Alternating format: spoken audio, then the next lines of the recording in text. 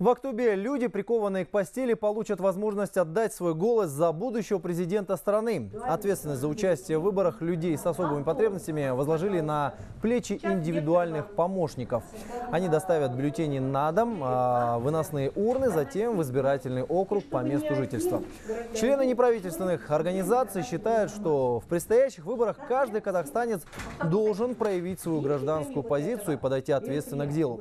К слову, в области сегодня проживают порядка 27 тысяч человек с ограниченными возможностями.